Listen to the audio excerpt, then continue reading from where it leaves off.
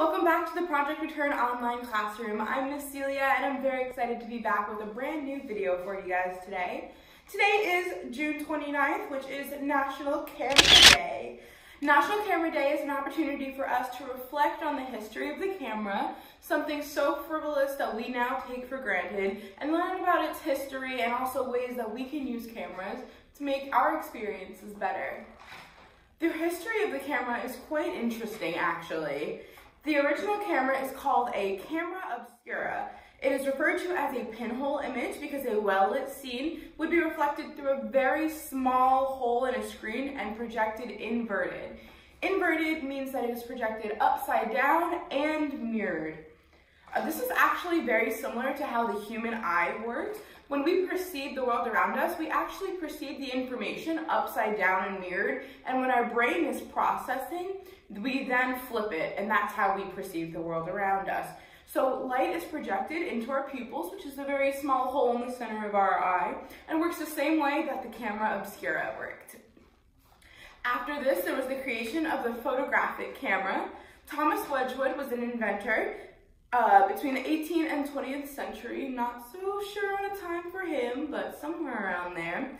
Um, he used the element silver, and he learned that silver actually changes colors when exposed to different amounts of light. He used this to make prints of leaves or bird wings, or insect wings, but they never really stuck around for too long. But that would be the basis of blacklight photographs and ultimately the modern camera we have today. Inventors from all over the world in the past hundreds of years have worked to improve the camera and create what is now the modern digital camera.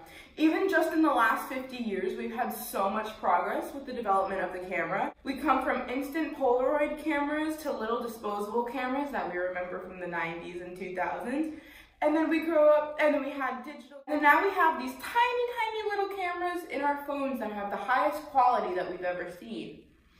Uh, we can even go beyond photographs now and record video. And without the development of this video camera, there would be no TV shows, there would be no YouTube channels, like me, hello, no movies, um, there would be no FaceTime, no Instagram, and more importantly, no Project Return online classroom. No Project Return online classroom. No Project Return online classroom. So I am very thankful for the development of the camera. I don't know about you. Now, on National Camera Day, I do have a few ideas that you can go ahead and have some fun with if you want to go outside and take some pictures. Uh, spend time doing some crafts with your family and friends and photograph your finished results. Take a walk and take a picture of the sky, maybe go out at sunset or sunrise and snap a few photos. Take some pictures of some flowers, some plants, or some birds, or just the nature around you. Uh, take a picture of your favorite pet or animal that you have, or simply draw something and photograph it. Or if you wanted to keep some memories on you for a long time that you'll never forget, photo take a picture of your favorite event. For example, come in a project return, come take some pictures with us. We'd love to see you here. Alright guys, that is it for my video on National Camera Day. I hope you guys have an amazing day and I will see you back here tomorrow on the Project Return online classroom. Bye guys.